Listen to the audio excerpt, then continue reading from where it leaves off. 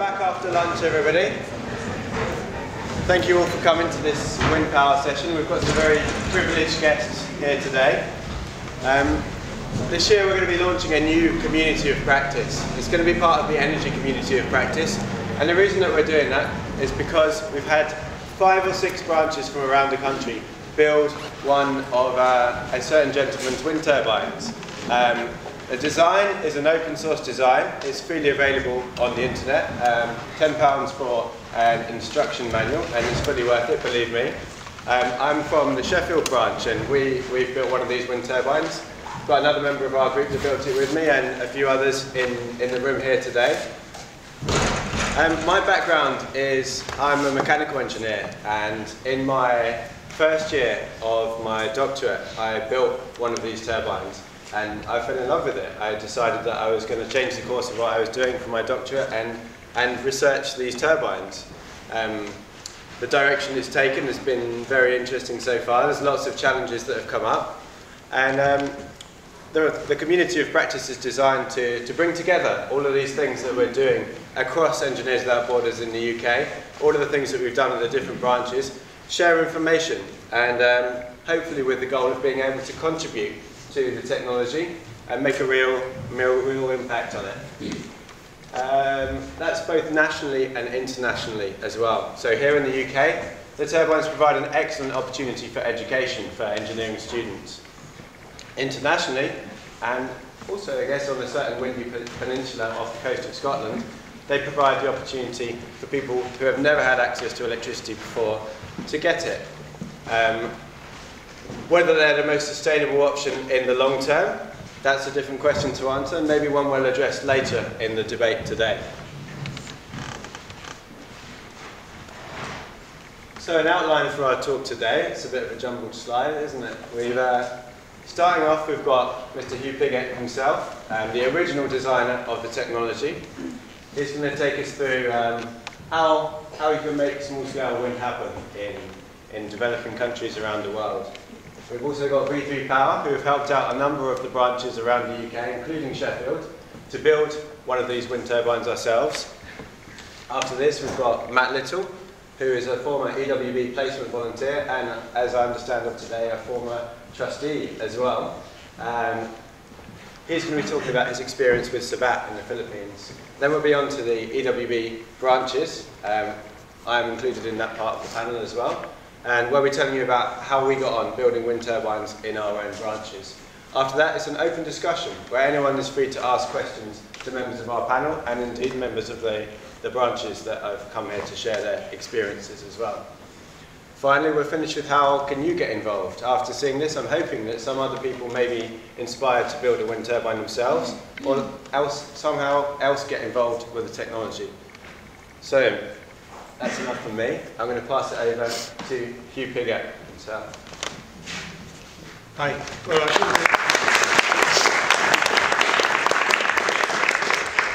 yeah, I'm very privileged to, to be here um, and uh, slightly in awe um, of the situation. But uh, what I'm going to talk about is, is my experiences, um, hoping that that'll help you um, with yours in, uh, in small wind turbine development.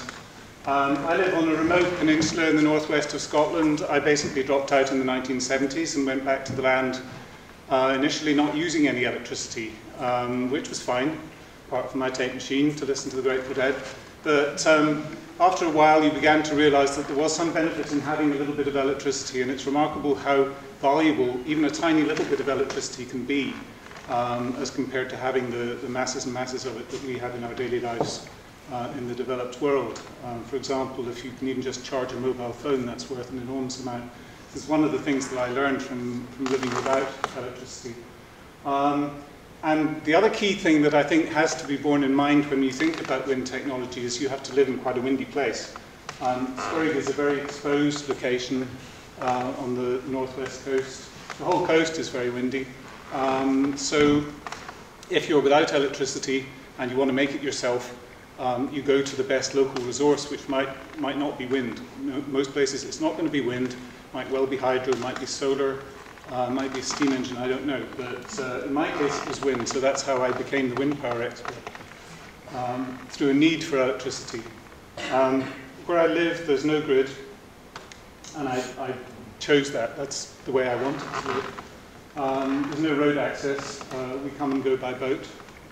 And um, it's a very beautiful place. Um, and I have a lot of neighbours who also need electricity. So it was a perfect breeding ground for developing um, simply constructed small wind turbines, uh, which were quite fashionable in the 70s.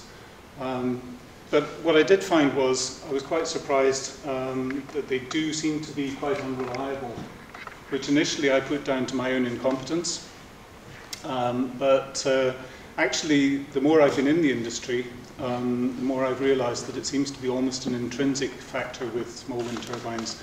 But you will get an awful lot of um, cock-ups and uh, breakdowns and aggravation of one sort and another, uh, which uh, is kind of offset by the sexiness of the technology in such a way that people find it addictive. I certainly find it addictive. Um, the more they went wrong, the more I wanted to fix it and the more I wanted to persevere and get a result.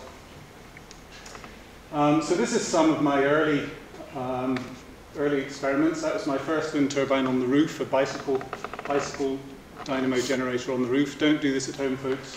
Rooftop wind turbines are definitely a bad idea. Um, it's not a good place to find wind um, on a rooftop. You really want to be well above surrounding obstacles and well away from the building. There's a lot of problems with noise, structural damage, and safety with wind turbines on the roof on a good windy site. So um, I don't recommend that. We experimented with single bladers, we tried all kinds of different things. In the end, um, I started using old dynamos off Champ Jeeps um, for modification to get a suitably low speed generator. The real challenge is to get a, uh, a type of generator that works at low RPM and has a very good part load efficiency. And this was quite a challenge in those days. Um, it wasn't such a challenge initially to put them in a good windy spot, but um, as the trees grew, it became more and more important to put them on tall towers. And uh, we developed low-cost technology using steel water pipe and fencing wire, um, which has proved very, very reliable and effective for, uh, for, getting up there into decent winds with your wind turbine. Um, when I'd uh, when I'd been working for a while on Scoraig, I started to get more of a more of a interest in what went on in the rest of the world, and uh, that what that led to in the end was a, a project in Africa in Zimbabwe where. Um, where I was asked to design a wind turbine for low wind speeds. So we went for a 3.6 meter diameter. It was going to be a 500 watt machine, which is a very low rated power designed for low wind speeds. Um, and in fact, the, the design was taken up by the people who built the prototype and they started manufacture. But um, as with so, so often with these projects, which are intended for purpose of providing rural electrification for the indigenous people there, um, this actually went off at a different angle and uh, the main motivation of the company who manufactured them was to generate export income, um, dollar, dollar exchange income, um, which they did successfully for a while. Uh, but it, it, it didn't actually translate into um, any improvement for the local people's lives. Um, this is some examples um, of the uh, AWP, the African wind power machine. It had a, a radial flux alternator, and the, um, what became most obvious during that particular development project was that it was very, very difficult to manufacture the, um, which is the uh, laminations at the center of the alternator were very, uh, very, very difficult things to manufacture um, in a low-tech sort of environment.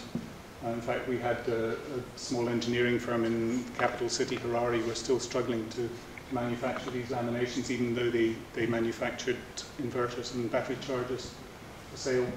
Um, so what I learned about alternator design for simple um, hands-on uh, access to, to the ability to manufacture these things without special tools was that um, much preferable was to use an axial flux design, a sort of pancake design as it was once known, where the, the alternator is between two steel discs that have magnets. Um, the, the, uh, the, engineering is simpler because you're working with flat planes rather than cylinders for a start, and you don't have to manufacture these very complex laminations. Um, and with the progress of development of permanent magnets over the last couple of decades, they've become cheaper and cheaper and stronger and stronger. That's meant that we now have a situation where you can just throw together something with uh, some pieces of steel plate, some of these magnets, some copper windings, and a car, um, car wheel hub, and you've got a perfect generator for a, low-speed uh, wind turbine um, that pretty much anyone can build. And uh, this is a tremendously empowering experience that I think a lot of people in this room may have already encountered. The, the, the experience of actually using your own hands to put together something that will then generate electricity in moderate wind speeds. You don't need a howling gale. Um, and it's something that I've enjoyed sharing with people enormously. So ITDG, who've now become Practical Action, hired me to design alternators for a couple of projects in Sri Lanka and in Peru, and for that I used this uh, axial flux design. Um, what was noticeable really about these projects with practical action um, was that they were very high budget. Um, I enjoyed the process because I, I was paid well and traveled and, um, and, uh, and was able to develop my design ideas. What, what was more disappointing was what actually happened um, in, in, the, in the aftermath, really. Um, maybe a couple of dozen wind turbines were built in, in Sri Lanka and possibly a few more in Peru. But, um, but somehow the goal of changing the world with small wind turbines um, didn't really materialize immediately. And I think this is something that, um, that people are beginning to focus on now is how to, how to look beyond the, the simple technology and, and start to look at the process of technology transfer and more at the, the commercial side of things and the social side of things, making the wind turbine into something that people can understand, make it into something that people will be willing to buy rather than buying kerosene for lighting, making it into something that they'll be able to find somebody who can repair it, and making it into something that will compete with solar PV. Uh, and that requires a, a windy site, it requires local understanding of the technology um, and uh, the ability to deal with all the problems of small wind energy. Um, I started in year 2000 teaching courses and I've been doing so for the last dozen years or so. And uh, what I have found is, that it's a, it inspires people to build a small wind turbine, it excites them and um, and so it's an ideal project for universities, also for schools, um, and even in the developing world for engaging people with engineering at a very basic level.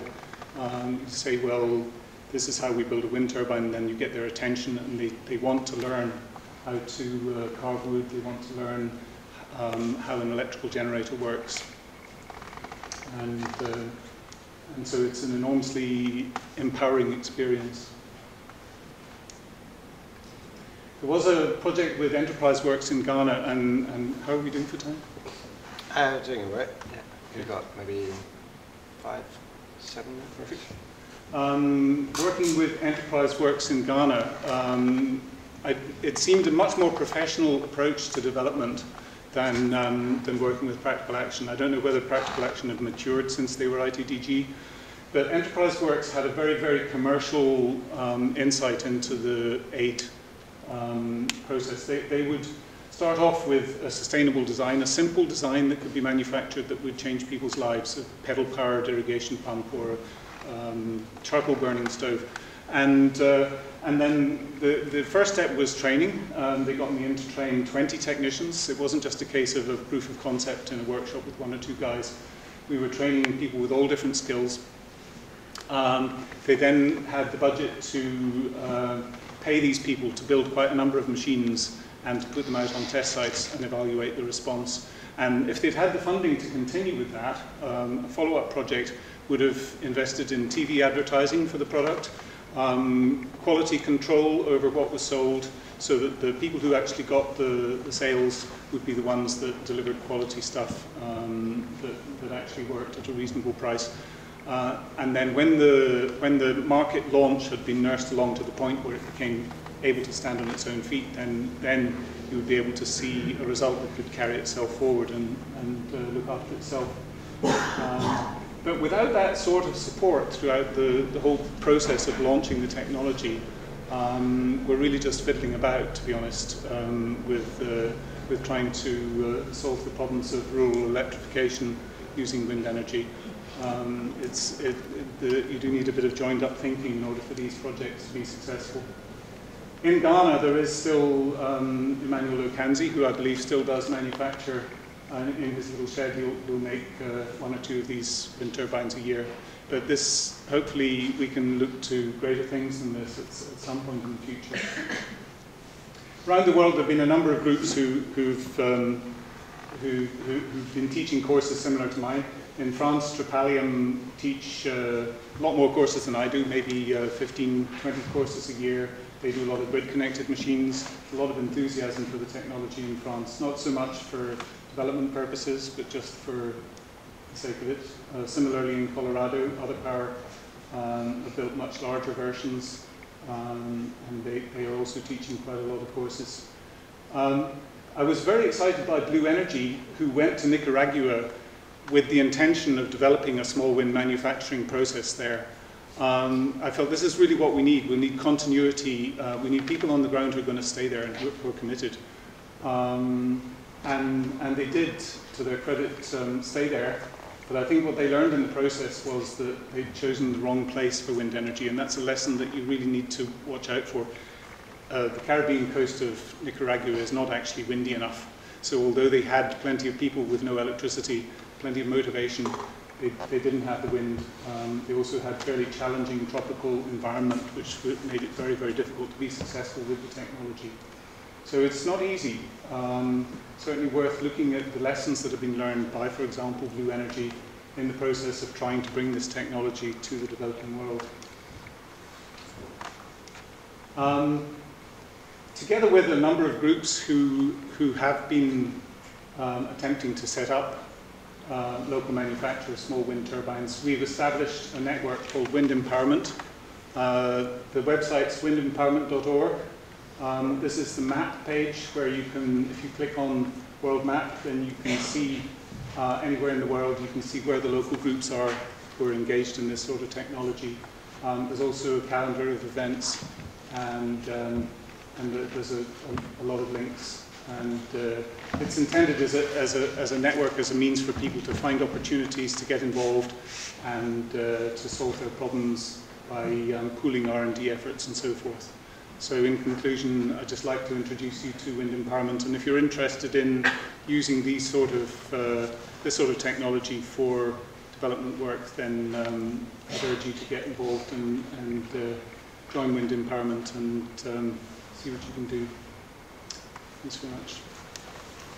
Okay. So we haven't got any slides, we're just chatting. Um, so my name's Aran Eales, um, and I'm going to carry on the story a little bit from Hugh as to how um, his turbine got involved with EWB and the first branch project that was um, involved with the construction of one of his, his turbines. So I studied mechanical engineering at Nottingham University in 2005 I got quite disenchanted with it really. It's, uh, it's quite boring, it's quite analytical and didn't really have any practical sense to it. Um, luckily I got introduced to a lecturer who told me about this organisation called Engineers Without Borders, which sounded great.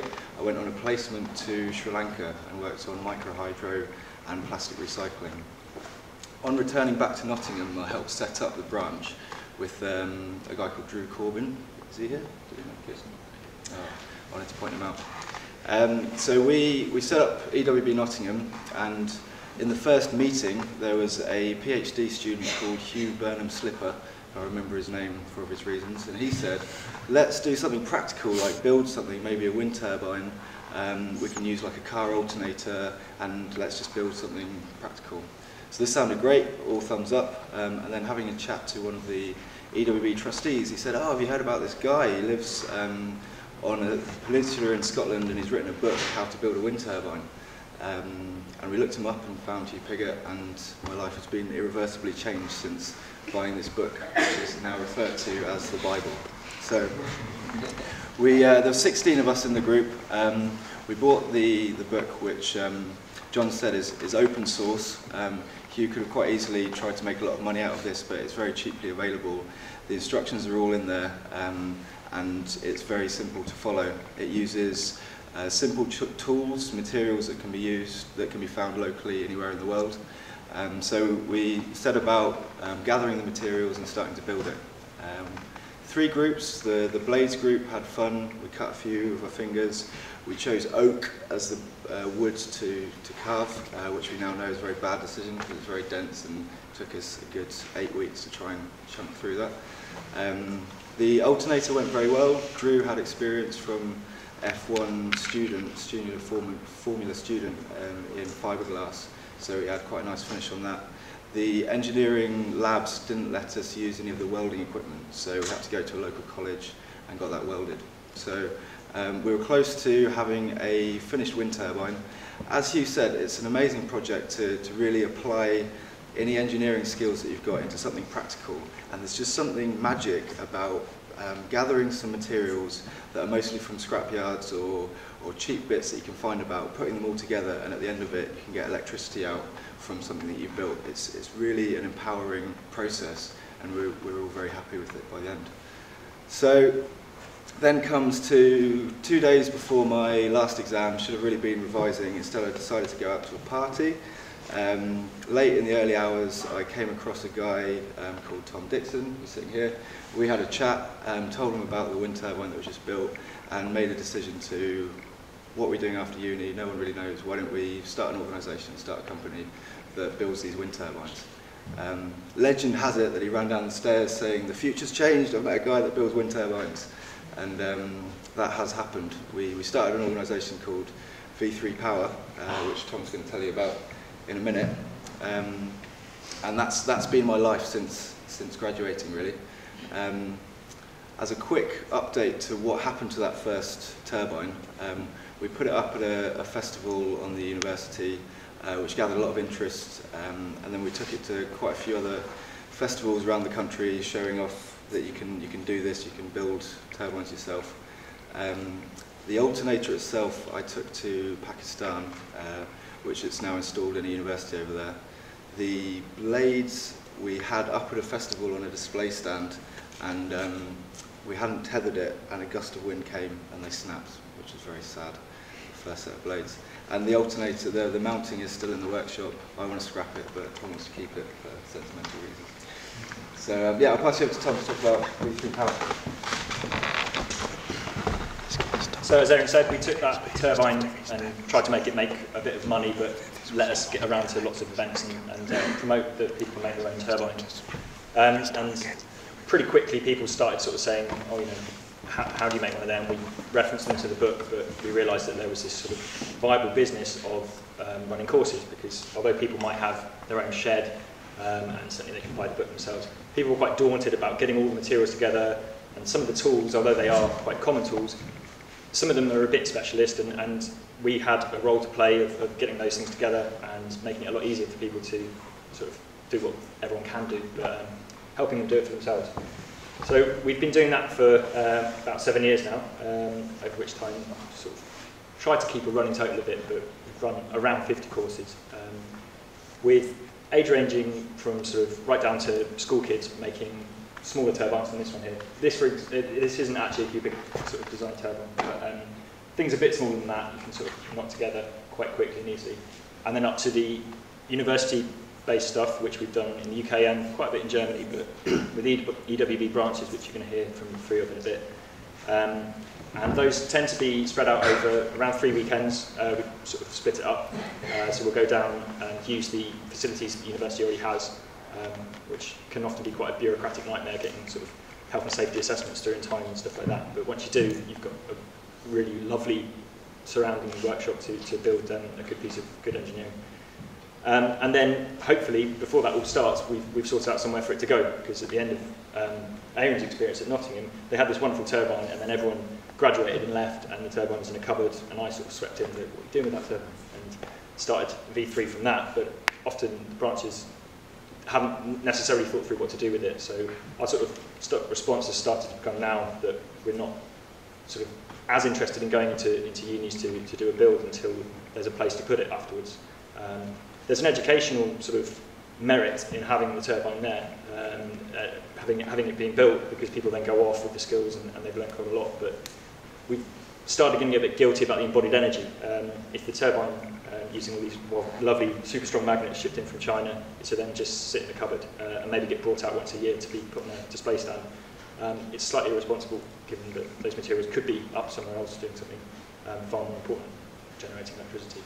So we're yeah got quite a few more projects on, on uh, of building them in, in the pipeline, but they um, they've all already tied up what's going to happen with the turbine afterwards. So if your branches are interested in doing it, um, with a view to taking the skills abroad and, and into the develop, development context, I urge you to try and also work out a local use of a turbine that you do build, or any of the technologies that you're sort of building to learn about them.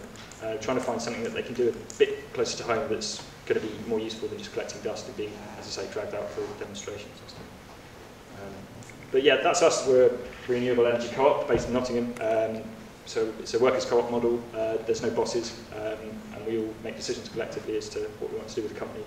Um, And yeah, if you're interested in uh, potentially at the end of your degrees, um, we, we are a, a UK-based wind turbine manufacturing co-op. So uh, do get in touch and, and chat with us, whether you want to do a, a course with your branch or, or just want to maybe get involved with the co-op um, outside of UWB branches. That's us. Matt's going to talk about it.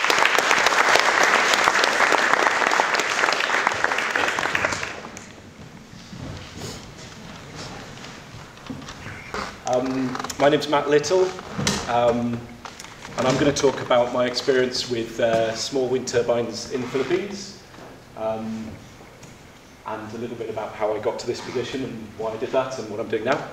Um, I am an electrical engineer, um, and I was uh, researching at the Centre for Renewable Energy Systems Technology, which is in Loughborough University. Um, and I was researching off-grid uh, standalone power supply systems. Um, so I was kind of doing quite academic stuff and setting up um, uh, test sites to, to look into off-grid power supply systems. And uh, coming up to the end of my research, and I realised I've never actually lived without electricity.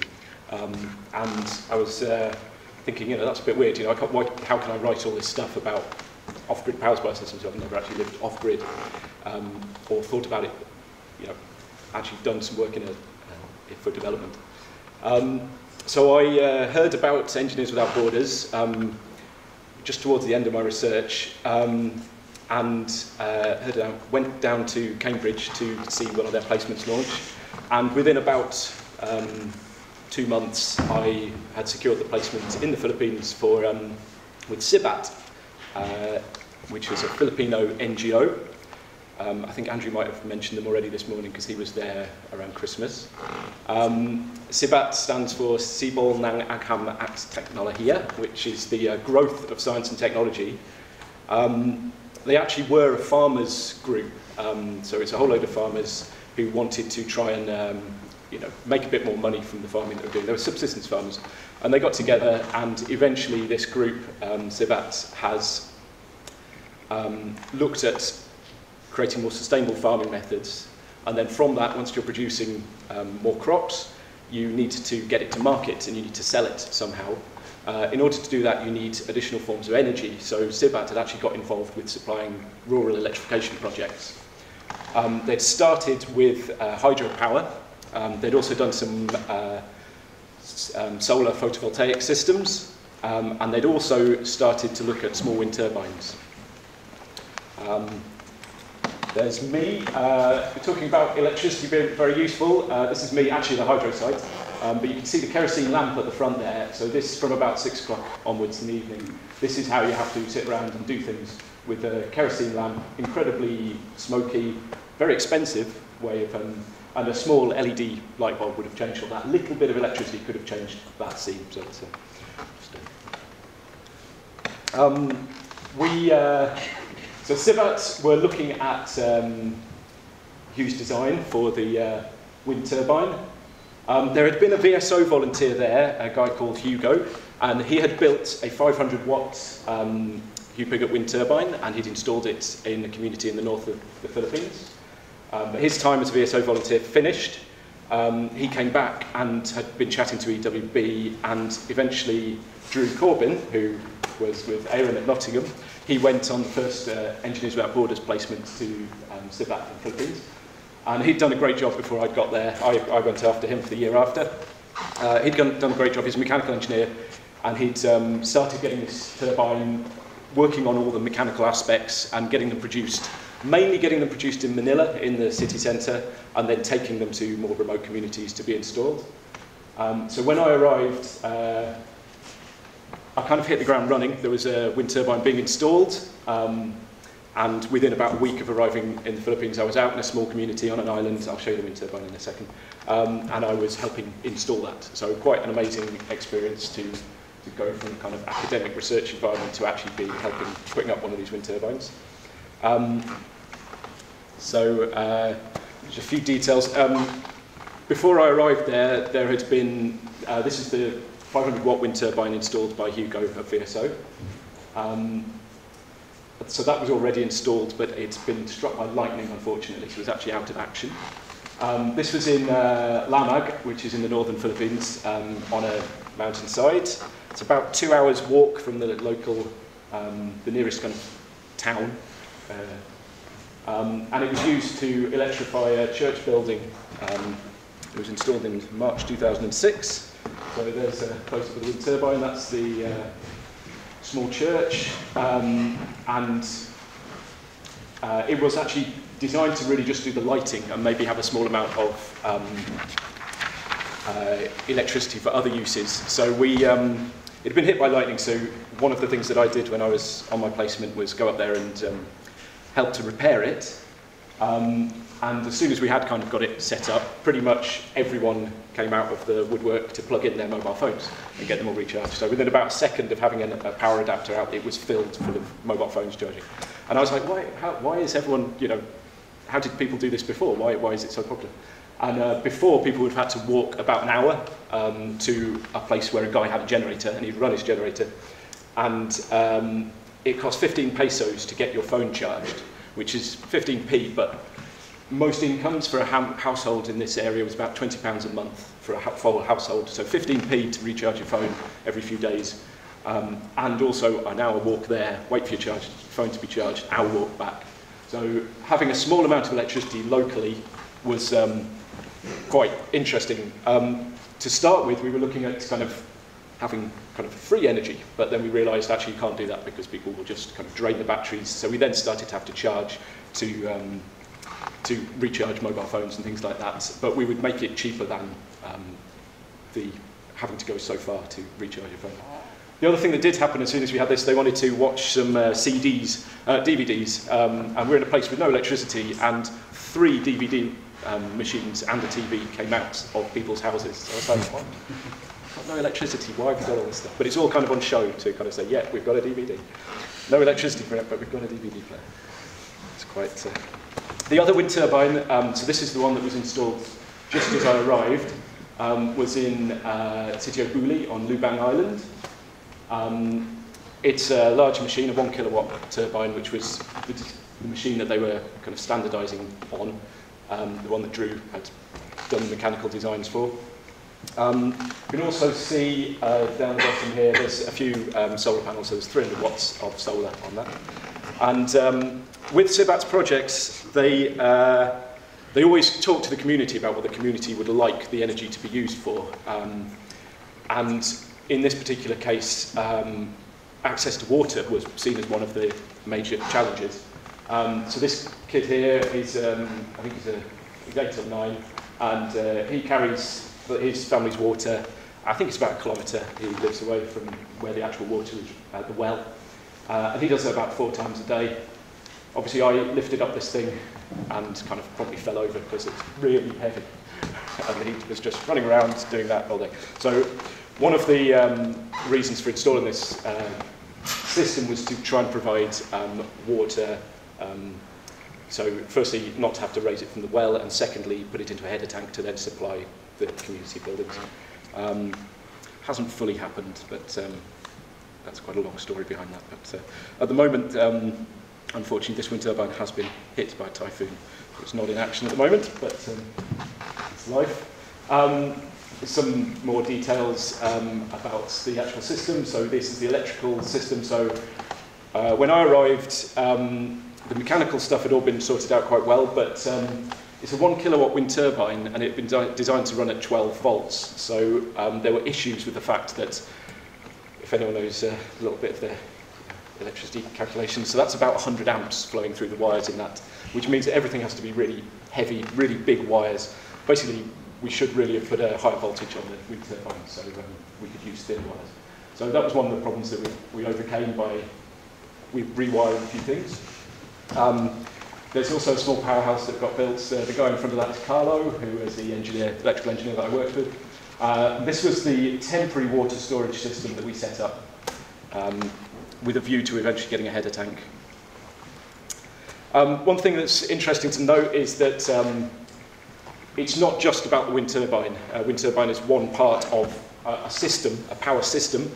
Um, so uh, we have the wind turbine. Um, there also the tower is, is very important, um, making sure that that's um, going to survive the conditions that you're putting it in. Also, the electrical system um, is also very important. Um, if the electric electrical system breaks for some reason, then your wind turbine can overspeed and it can then cause mechanical damage to the wind turbine, which is exactly what happened in um, Beaulieu. Um, the uh, charge regulator um, wasn't quite rated for the right um, for the currents, the high currents that were flowing through it, and it got very warm. It eventually failed, and when it failed, the wind turbine oversped, and one of the blades flew off. Uh, not a good thing, but uh, you learn from it, which is what it's all about. And in terms of cost, um, these systems, about one third of the cost is the actual physical um, turbine, about a third the cost is the tower, and about a third the cost is the uh, electrical system, give or take a bit. Um, also, you've got to transport it there. This these systems are very remote, rural places, so you have to transport them. Um, one thing that I was very interested in um, was uh, monitoring systems. Um, I don't know if you can see, but to start with, there was a voltmeter put on it, um, and it was very difficult to read. So I worked on a, an expanded scale voltmeter, which was easy to build in that area, um, and it gave you a bit more information, a bit more knowledge about the system, um, which is something I'm now working on um, further as um, my own consulting work. Um, just a few of the challenges. Oh, I think this was meant to say problems and challenges. Um, challenges that and things that came up when I was uh, visiting a lot of these sites. Um, firstly, uh, fusing. I don't know if you can see here. Um, so fuses again cost about 50p to replace, but again you have to walk a few hours to get to your market. Make sure that they're in stock there. Um, so generally, if you're in a remote place and you want to just get something working, you, you don't bother. Um, you wrap a cigarette packet, uh, cigarette foil packet around your fuse, plug it back in, and uh, you get it working for a little bit until it breaks again, and then you've got no fusing to protect anything. Um, lots of crazy wiring, always good to see. Um, very crazy wiring, always nice. Um, we had a few different things that went wrong, some things burned out. Um, just trying to show these as kind of challenges. There is still a, a lot of work to do Um, and this is where Engineers Without Borders comes in. We can look at how to modulise this, how to make it more sustainable, and also how to train people about what the problems are and how to address them before they maybe happen again. Uh, we had an insects that seem to like to live in absolutely everything, and they seem to really enjoy eating wire, which is a bit weird. Um, and as I said, lightning. So this was uh, a wind turbine, a 500 watt wind turbine. Um, it was struck by lightning. Um, maybe not a great statement considering it was on a church, but um, it's uh, hit by lightning. I don't know if you can see the damage there, but lots of stuff just vaporised, um, and it's very difficult to protect against that. You're in a, the Philippines is um, a place where you get a lot of lightning, you get typhoons, tropical storms coming past. So there's another thing to work on, lightning protection. Um, a few other challenges. Um, a lot of systems have battery failures.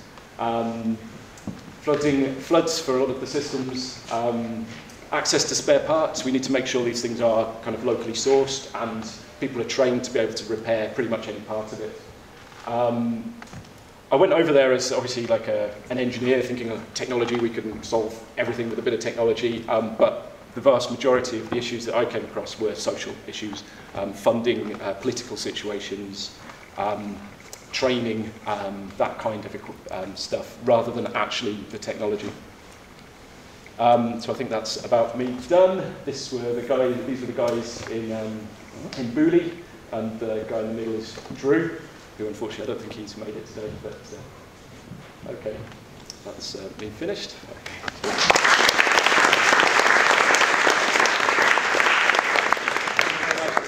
All of the members of our panel. So now we're going to hear some experiences of um, Engineers Without Borders branches right here in the UK. So we're going to go in alphabetical order. If we could have Bath up first. Yes. Okay. Thank you.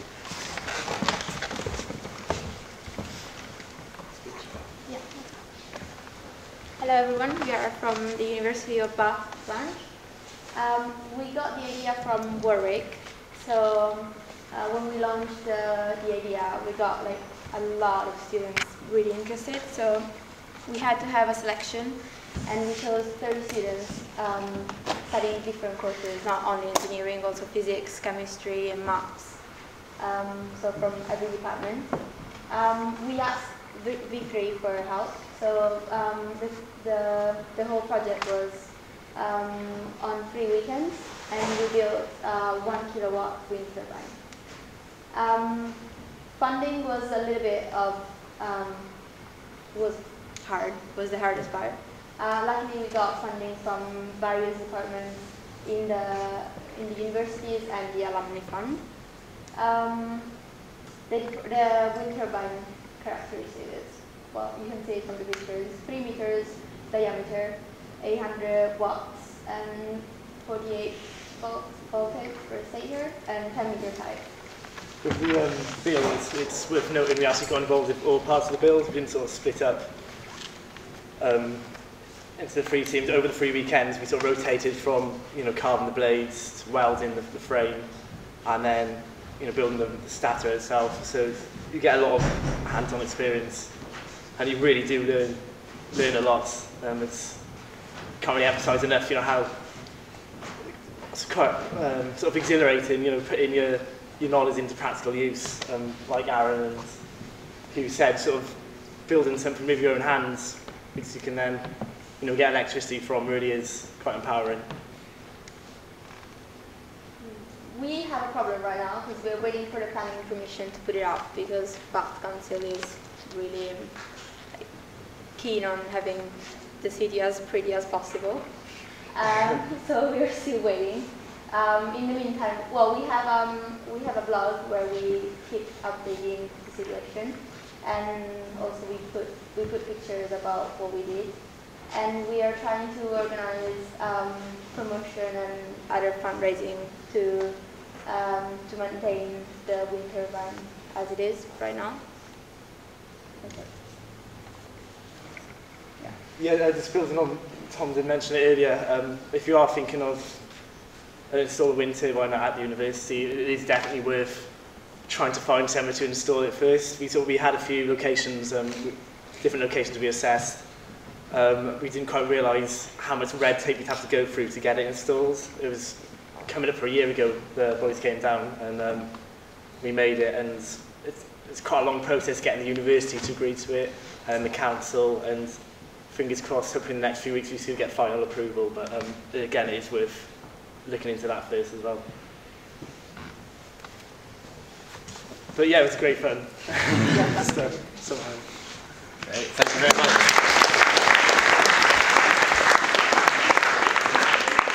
Next up, we've got Bristol.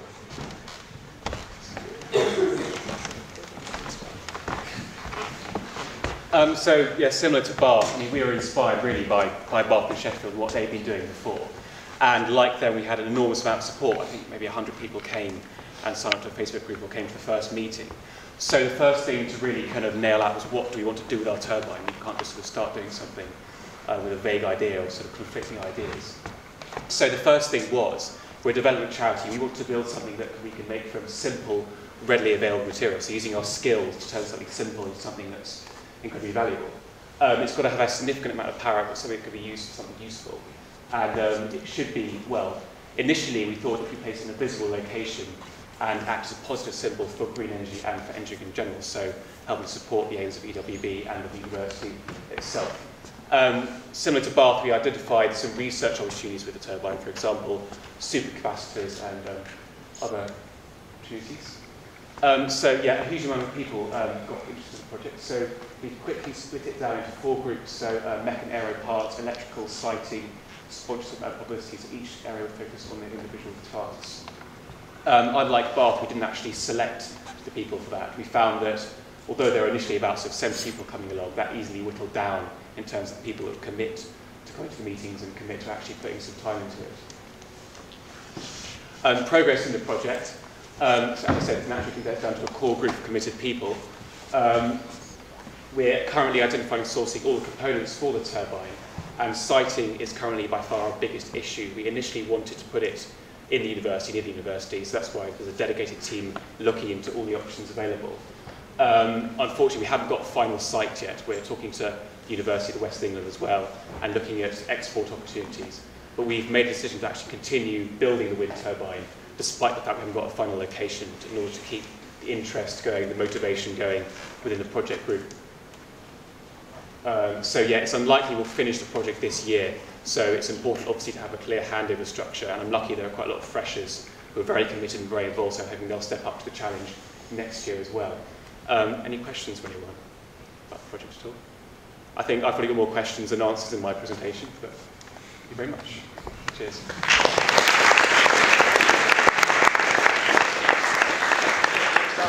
Edinburgh. There's a slide.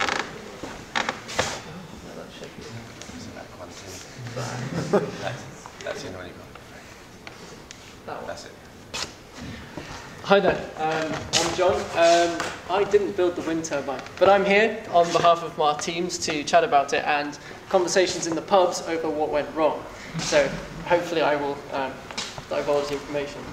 Um, the first thing that came out of all my conversations was planning. Um, if you organise for 20 or so people, which it got to, to turn up at a weekend and you don't have every single material and it's out of town location, and you have five or so people turning up and they don't get something to do, it can be quite frustrating. So I think uh, the best thing is to make just double check, triple check, you have everything, you've got something for people to do. Because those five people then didn't turn up the next week. So that was, that was the first thing that came out of it. Um, we were fortunate to have Hertha, who you must, you must know. Hertha has worked with V3, I think, for a year or so. She did her industrial placement with us. Yeah, she did her placement and she's worked on um, other technologies and she was in Edinburgh. So we had a local person, local expertise come and babysit us through the entire thing, which was fantastic. So if you have the pleasure of the company of someone from V3, you know, get them along because they just know that unique bit of information that will set you back a week. Um, what else? They're having a team. So obviously you end up with about 15 to 20 people, but if you can just choose four people who can head up, then you don't have to worry as the sort of head of this project to you know organize everybody. You like you delegate out and that's obviously part of engineering is that you delegate you have teams. So again bringing in all these sort of skills and things. Um, problems. At the time of coordination. Yeah the blades. The blades took forever apparently and apparently it takes a very long time. Um, we ended up with some plastic ones after a while and then we after three or four weeks so we had a presentation and for the presentation we couldn't use the wooden ones um, so I think it just takes, it always takes a little bit longer than you expect. Um, so expect to just, you know, put in the hours and stuff. And you, you'll find there are three or four people who become impassioned and never stop talking about it, ever. Um, and they do a really good job. Um, on a plus note, I just got back from India and I was teaching kids how to build little models of wind turbines. And I used your model um, to build little ones out of plastic bottles and um, teach kids about it. And it's fascinating when a child understands that you can generate electricity. Um, and if I go back this summer, I'll teach them how to take it off a dynamo and stuff. But it's, uh, yeah, it's a really interesting project, and I think everyone found it fascinating. So, thank you.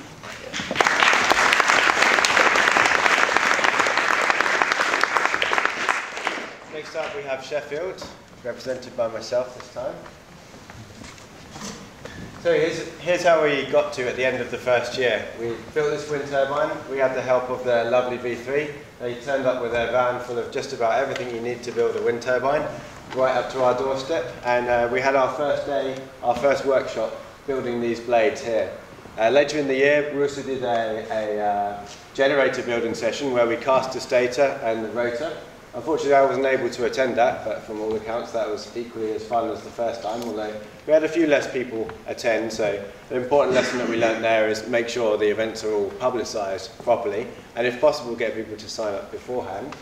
And this is at a festival in Sheffield called Peace in the Park. Uh, this is the first year we had it there. It's pretty desolate around. The second year, we were part of a big contingent on the top field, and it really felt like we were a lot more part of the festival. This is what we did in the summer um, after this first year. Um, me, Niels Campman, who's in the audience over there, um, trying not to get my gaze, thank you, um, and two other engineers went to Guatemala and we ignored the advice in Hugh's book that says do not use vertical axis wind turbines because they're not very efficient. And we built one and it wasn't very efficient. the aim was to continue the project as a, to build like a, a lasting link that would uh, keep going throughout four, five, maybe six years. But we've kind of decided that maybe wind power isn't the best for, for the NGO that we were working with. Their specialism is, is uh, pedal power. The wind resource in that area isn't that great. That's something we also didn't check out. So I guess the big lesson to learn from this is before you go headfirst into an international project, do your homework. Don't try and reinvent the wheel as we did. And this is an outreach workshop we won. So the details of this, I don't think we have on our website yet, but hopefully we will be putting up there shortly. So if anyone's interested in running a simple workshop around wind power, all you need to do this one is a few sheets of newspaper, some sellotape, a kitchen roll tube is cut along its axis to produce the blades, a wine bottle cork and a small motor that you can buy for one or two pounds from any kind of reasonable electronics, online electronics store. And this is another wind turbine designer who in fact met with Hugh about eight years ago. And we have his turbine up here. I'm going to zap it with a laser. Yeah, that's it. So it's a lot smaller machine, a lot flimsier. Um, it's not been tested by anywhere near the same uh, extent that Hugh's machines have. So in terms of a machine for reliably producing power and generating electricity where there is none, perhaps it's not so appropriate. But for an educational project, it absolutely is. And the fact that we could bring this one here today to show you all, uh, but we couldn't bring our heavier machine that was built to Hugh's design, again proves that it does have a, a role to play. Um, our bigger machine has sat in the cupboard gathering dust, as Tom said it absolutely shouldn't, because of the very fact that we didn't have a plan with what to do, of what to do with it in the start. Um, if, if you're thinking that you don't ever want to install your wind turbine anywhere, you just want to have fun building it, and then you want to take it around to different places as a kind of an educational tool, then I would recommend one of these machines. Um, if you want to install your wind turbine somewhere and you want a reliable machine that's going to actually produce a decent quantity of electricity, um, what I mean by decent quantity, um, maybe not enough to make you super rich, but enough to be worth plugging into the grid, then I'd absolutely recommend going for one of Hugh's machines. Our plan for this year is to install it in an educational trust called Whirlow Hall Farm on the outskirts of Sheffield. And we haven't even started looking for planning permission, so perhaps this is another hurdle that we'll fall into. So next up, can we have EWB Warwick, please?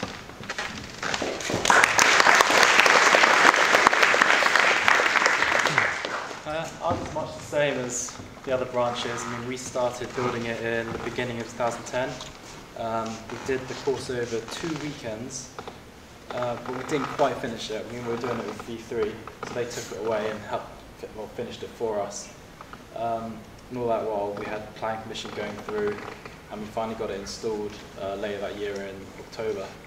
Um, planning permission was a pain, as you can see from the other branches. I mean, we got permission, but because we had the turbine situated down by some sport pitches. Sport England put in an objection and just said basically it's going to disrupt the wind and our rugby balls are going to go all over the place. so obviously the council has to take that into account and so it all went. Um, I mean, one guy decided to do some fluid dynamic analysis and to prove to them basically that what they were saying was crap. Um, so eventually we got the permission, got it up, but Unfortunately, we didn't quite know what we were doing with it with V3 gone, and uh, we dropped it a month later, taking it down for maintenance. But it's fixed again, back up and running, um, producing I think total it's not produced much, but yeah, we're looking to get it producing more. Um, I mean, up to sort of standards should be doing, um, just to show people that it's a viable option. It's not the best location with trees and things, but it's all we could get with the planning permission. Um, yeah, it was a really good, really, really good project. Uh, definitely recommend it to any branch looking to the project. It was the first project we did as a new branch, um, and it's definitely ongoing. It's not build it, get it up, it's maintain it. Um, so it's an ongoing project. Definitely worth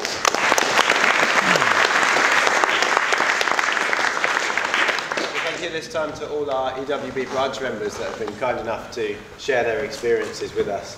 The next part of the, the session is an open-ended discussion. Um, we're going to have questions from anyone that would like to ask one um, to the panel or to even any of the branch members that have just come up and presented.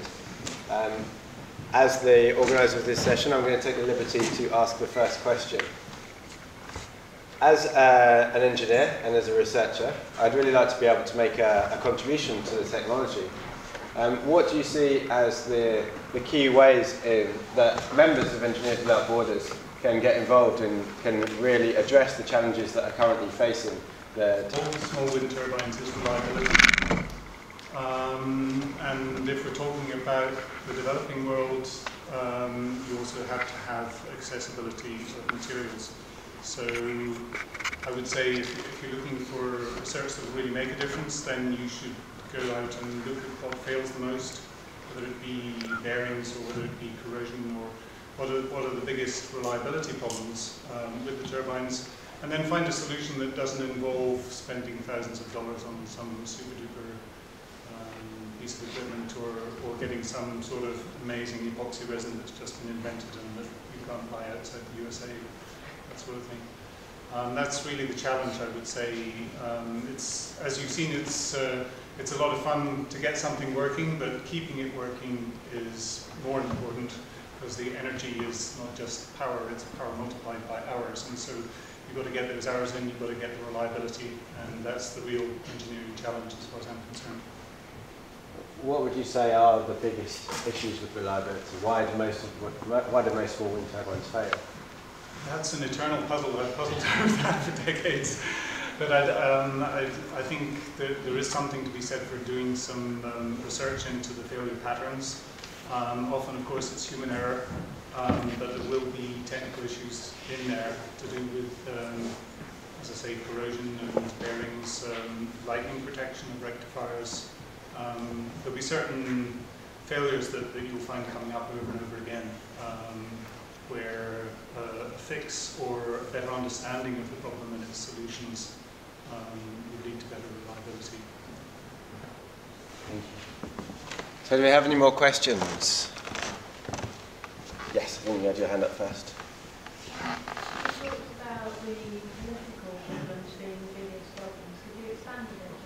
Um, yeah, it's uh, yeah a little bit of a, a convoluted story. Um, basically, um, yeah. Um, so uh, Drew had already applied for some funding um, for putting up another wind turbine, uh, actually two wind turbines, and to finish off the project, the water pumping system that you saw there. Um, now, that was for about 70,000 US dollars, and it needed to get approval from two different government departments. And we'd actually got approval, and it was going to uh, supply parts to, to finish off one project and doing another project, water pumping, uh, wind-powered water pumping system. Um, but it had been seen as it went through one of the government departments, it was seen that this is quite a lot of money, and where's it going? It was actually paid for by the uh, Anti-Poverty Commission, Filipino Anti-Poverty Commission. So the government's money was going out um, for this. Um, it had to be approved by one of the departments. Um, shouldn't say which department, um, and then they wouldn't allow it to be approved. They said we can do this ourselves. and they took the projects from us um, and they wouldn't allow us to get approval for it. Um, they then used their, they put their projects out to tender to people that they knew, basically corruption, and uh, eventually one of the people, um, uh, it was obviously very related to the um, government official that could had to do the signature. Um, he, he got the contract and um, they installed diesel-based water pumping systems. Um, the uh, government department was allowed to take 40% of the money just for operational costs, and that's part of the, that's how it worked. So they took 40% of the money, and then these other groups. Um, they did install a diesel-powered water pumping system, um, it right next to our pump, um, didn't talk to us at all about how to connect it. Um, diesel's incredibly expensive there. It had a full tank of diesel, and if you drained that, and now it's not used at all because diesel's too expensive. So um, yeah, that's what happened. With that. I don't know where the rest of the money went actually, um, but it was all lost, all because of political corruption. Is there anything that you can take from that? Um, uh, yeah, um, it's it's knowing the political situation um, and actually having people who, know, who understand it. Um, like me as a total outsider didn't understand or how it worked, um, but maybe I should have done some more research on that. But yeah, um, it was a bit depressing. Maybe trying to get money from other sources. Maybe don't trust government money. I don't know. Do we have one over here? Yeah. Um, the PVC piping is incredibly simple and really easy to sort of rebuild. What kind of scale can you build those up to have to wood or fiberglass system? So I think it partly depends on what kind of size pipe you can find. Um, the biggest pipe I've seen is about this kind of section, but the bigger you get, the, the less available it is. I've not done any kind of strength calculations on how much force they could withstand, and I guess that depends on how fast they're spinning around as well. Don't Hugh, have you ever built one of these PVC machines? I've, never actually cut blades out of a piece of PVC pipe, although it's a very popular technique. Um, I believe it's uh, not possible to achieve the same lift to drag ratio, so you have to settle for a much lower RPM on the machine. Um, also, PVC does have less attractive structural and fatigue properties than wood, but uh, it, it, it certainly speeds the process up. People do find that they can make them in, tiny fraction of the time it takes to make wooden ones, so uh, that's the trade-off that you're looking at as far as I know. Um, I think if you were building something larger, then it would be more attractive to make it more aerodynamic because it would, the larger you build something, the payoff in terms of the energy, etc., is much greater for the trouble that you put into it. So it's worth putting some trouble into it, whereas something that was crude and large would, would have been a waste of effort, really, in terms of the rest of the system. Yeah, there's a lot of money that goes into the, the alternators in terms of copper and magnets. So to waste it all with inefficient blades does seem definitely a silly decision to make. And kind of going back to your point about fiberglass, uh, if you're building a one-off machine, then wood is certainly the best way to go. You can just get a plank of wood, carve it out, really easy. Fiberglass, you need moulds, and in order to make moulds, you, you have to make a blade first, that's a blank, and you probably make that out of wood. So once you're manufacturing sort of probably 10 or more wind turbines, then fiberglass may start to become more of an attractive option. But for one-offs, for a, an Engineers Without Borders style project, then would you agree that wood is definitely yeah, well, the best I, option? I would say don't don't um, don't undertake fiberglass manufacture lightly because uh, I've seen a lot of failures of fiberglass blades. I've seen very few failures of wooden blades. Um, trees are made out of wood, and that's for a good reason. It's the perfect material for that sort of application. But there's a lot of bending, you need something light and strong, and fatigue resistant, and, and it's a brilliant material for that. Fiberglass, correctly applied, um, can work very well but uh, making the thing hang together is much more difficult than people assume. So it's certainly not a shortcut, but for manufacturing um, large batches or mass production, it, it, does make a lot of sense to use composite materials. I uh, just add to that? Yeah, one thing I didn't mention is, um, uh, I, I, would totally agree with that. Um, in the Philippines, we were actually making fiberglass blades. Um, a bit strange for a place which has quite a lot of trees. Um, but it was seen that the, um, the wood that was available was not um, of the correct sort or suitable, nor amazingly sustainably harvested for making blades. We were also looking at kind of doing long-term production, so we were actually building the blades out of fiberglass, but we did have a lot of problems with them. Um, yeah, I'd say definitely go for wood. And the, so you produced a manual, was it? Yeah, there is a, a manual. Um, there was some work done in Peru. Um, was it Peru? I think the Practical Action has a manual from Peru about fiberglass blades, and I uh, expanded that from the work that Drew and I did. That's available. It's available online, yes, it's a very detailed document. I just want to add one more thing. In terms of transferring the technology, Wood's perfect because anywhere you go, there's going to normally be a skilled carpenter, and you just have to show them how to make the blade once, and then they um, know how to do it. They can replicate it very easily. Uh, with fiberglass, obviously, you need a bit more skill. So. James, would you like to say anything about the Wind Aid's choice of, of blade materials? Um, Just to give you an introduction, so James has worked for Wind Aid in Peru for two and a half years and was involved in the design of their blades, which use a foam core and a fiberglass outer, which is covered then by a layer of carbon fiber. yeah, you have a foam core, which means that instead of using solid resin, it's significantly lighter, and a layer of fiberglass and a layer of carbon fiber.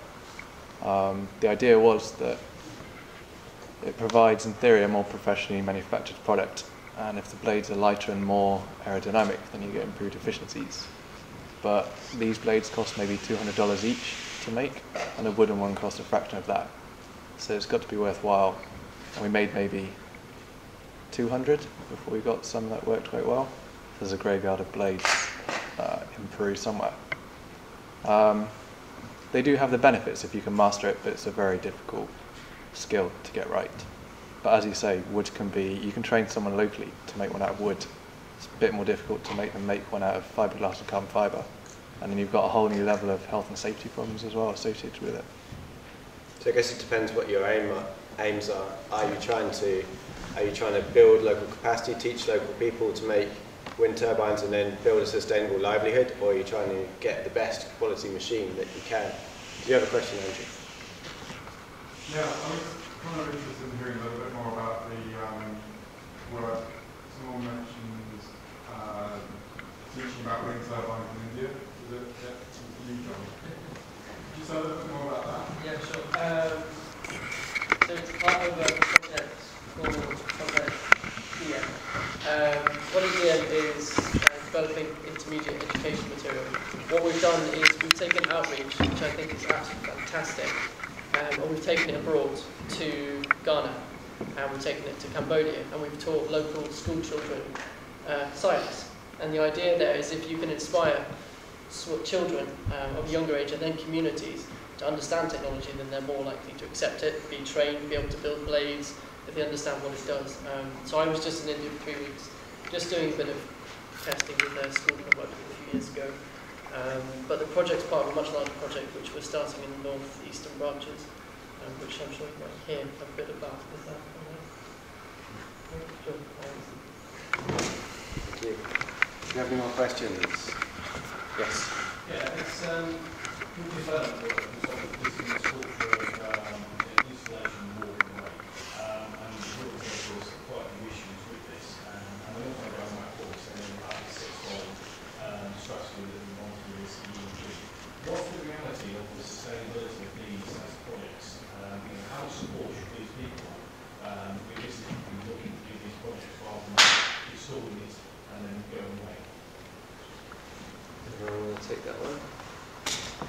I would say that it's very, very essential to have um, skilled people who understand the technology um, available um, cheaply uh, on the ground, whether it be uh, an ongoing aid project like the Blue Energy Month, um, or whether it be through training local people to, to find their livelihoods in that way.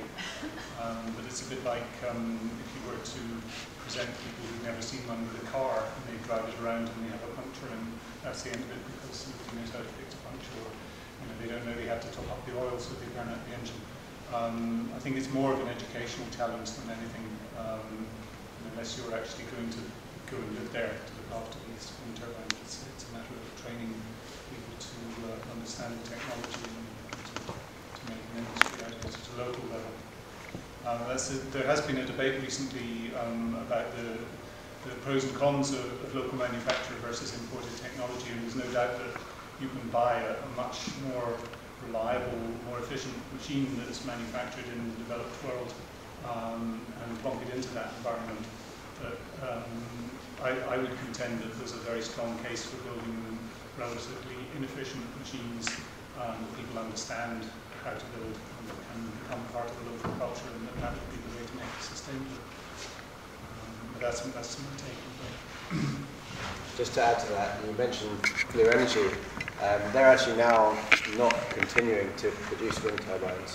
Um, they've had a lot of problems with the community not feeling engaged in the process, not feeling like they were really part of it, and therefore not being able to maintain it because they didn't have the, the skills in the first place. Even though they'd, they'd had a, a training program, they've recently done another project in partnership with another NGO called ASO Phoenix, and in that project, members of the community in which they were going to install the wind turbine actively took part in the construction process and therefore learned a lot more just as, as we have when we built one of Hugh's machines ourselves. We've learnt the ins and outs of the design and we know exactly what to do when something goes wrong and to date that project has been far more successful. Yeah, um, I think you're totally right. The, the long-term sustainability of these projects is, is key with, with all of these projects. And there is, um, it does happen a lot um, that things are installed and then it's kind of forgotten about. And because it was that one person's kind of idea and then they've gone, the skills transfer hasn't really happened. Um, it's very difficult to address that. Um, I spent a lot of my time trying to make, uh, to try to document everything, um, to manuals and documentation. Although it's quite boring, I think it's really useful for the kind of long-term um, sustainability of all these projects.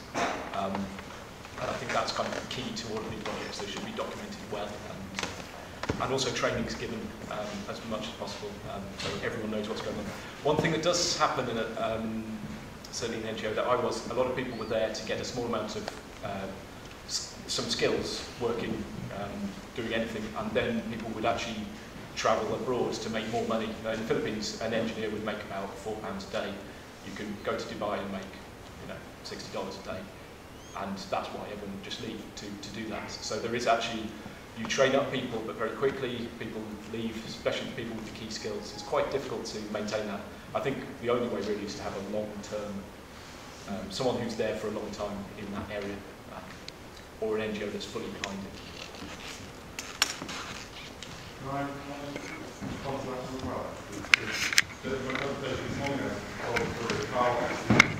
that as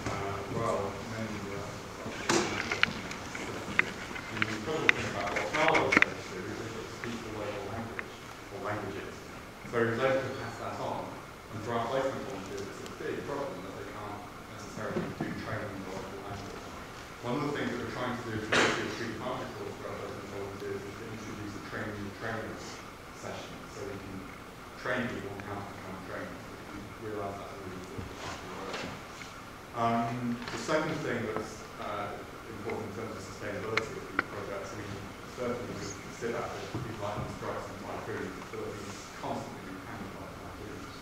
Every year regular helps them. Um, but the, uh, if it's just one turbine being taken out, or one uh, plant, or one source being taken out, it's obviously uh, a dramatic failure, gone. But if there was a mini grid system, a smart grid system that could be communities within villages where a number of these devices can be connected together, there's some real potential there creating a mini grid. Um, if the grid's already there, um, although it, it takes away from you being able to fix that lovely shiny grid tie inverter box um, with your sort of own local technicians, it is just going to be a slightly more sustainable and embodied energy wise as well. Lead acid batteries, the Victorian technology, um, it's very, very well recycled. Um, most batteries will become batteries again, but the energy it takes to do that um, is pretty disastrous. And, you might find you're just constantly just, just about keeping up with the energy it took to make your batteries every time you replace them. So if the grid's there, um, we generally would recommend putting it in. But it does then not allow you to fix it without um, an inverter is a complicated box of electronics. Yes. Um, I know we're looking a lot at the electrical sort of end side of the wind turbine, but has anyone looked at the using the mechanical energy from wind turbine? So for, for water pumping? Yeah.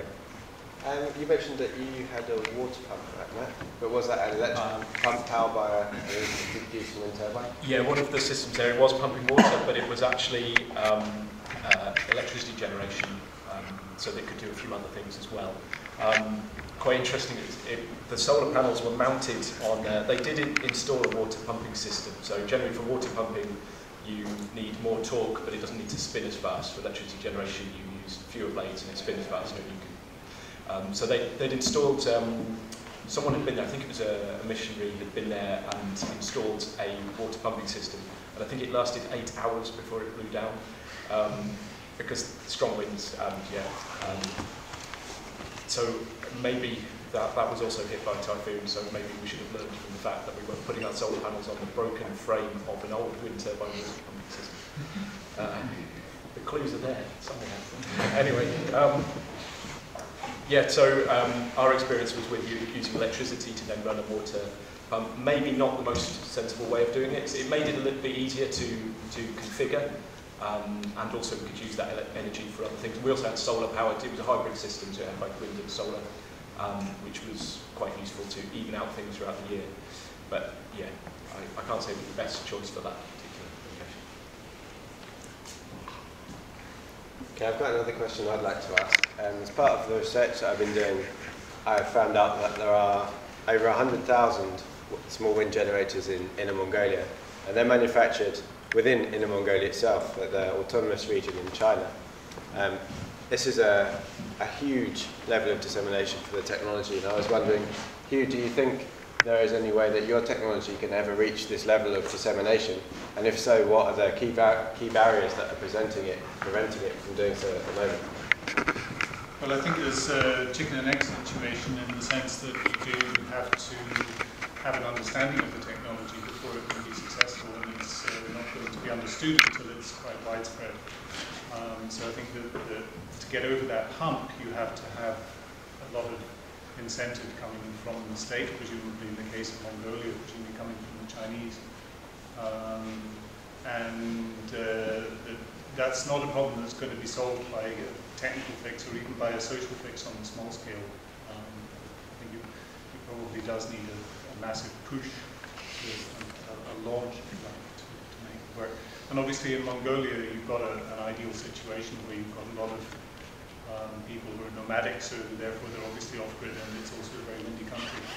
Um, so that makes it very worthwhile. Whether you would ever have the critical mass to justify the investment um, in other locations in the world is, is questionable because the, the, places where wind is competitive with solar PV tend to be fairly localized coastal regions or mountainous regions or whatever localized high wind regions.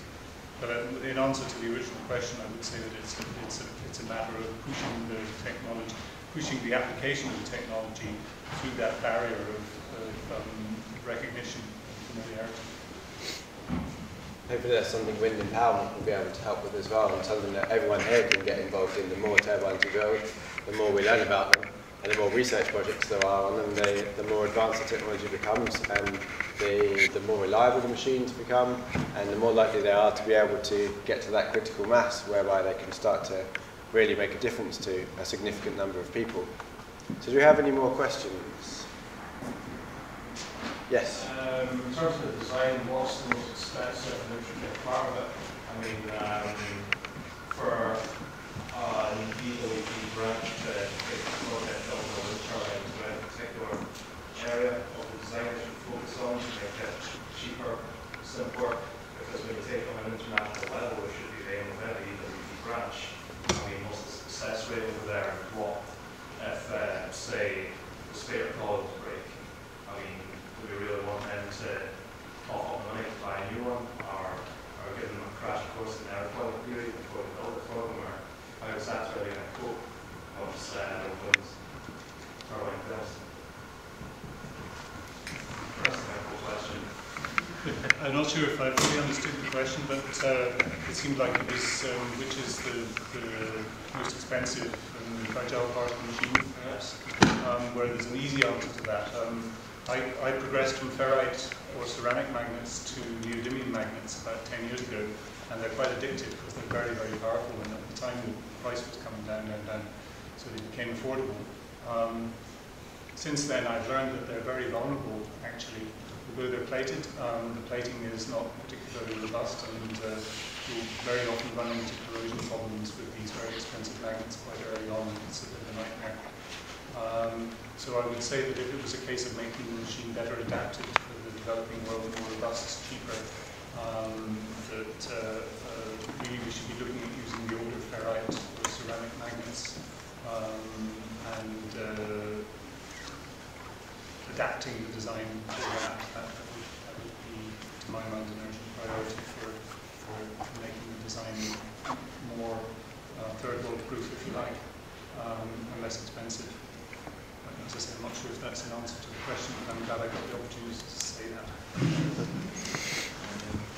just add a bit to that. And, um, it's quite weird how uh, um, here, building wind turbine, the labour costs are big part of that. You know, if you're going to get something welded up, a day's labour doing that um, would cost quite a lot of money, whereas uh, kind of the electronics and that kind of system uh, was all much cheaper.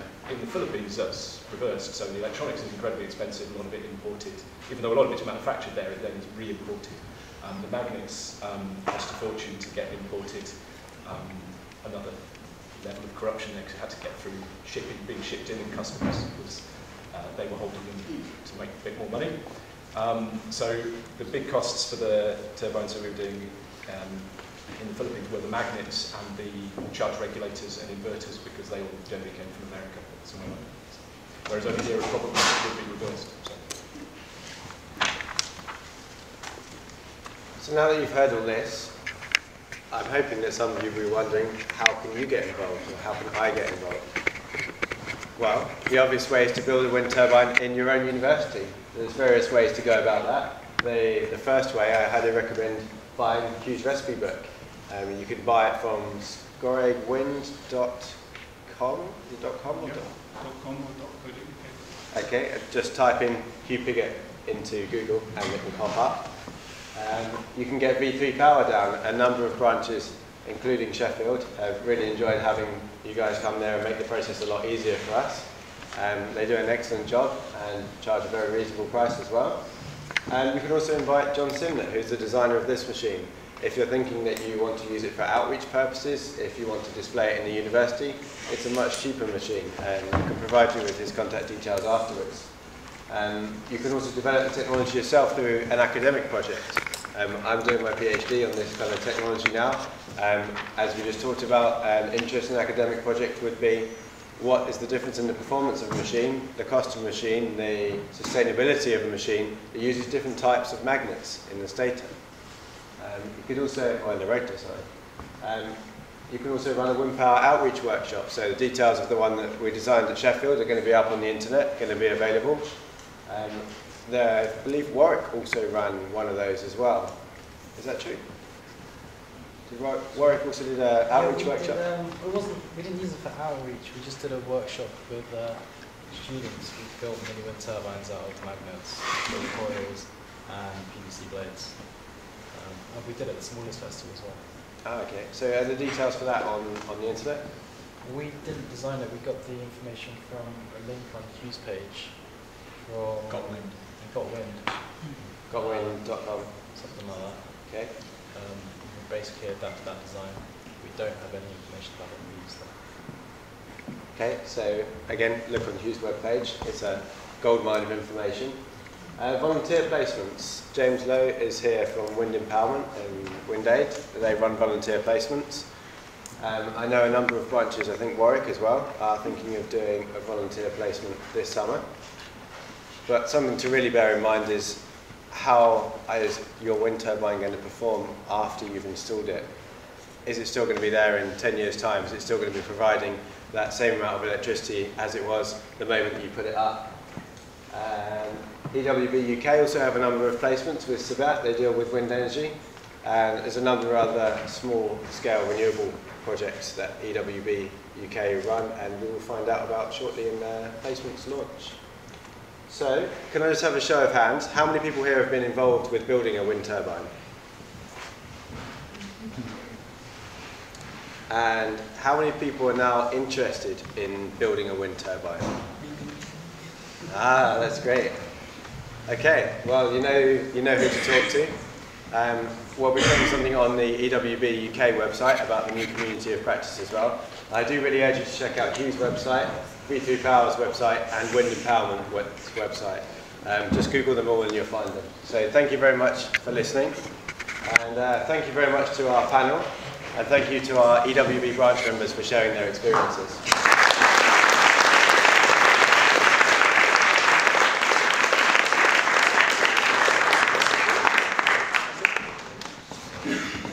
Cool. Thanks, guys. Thanks.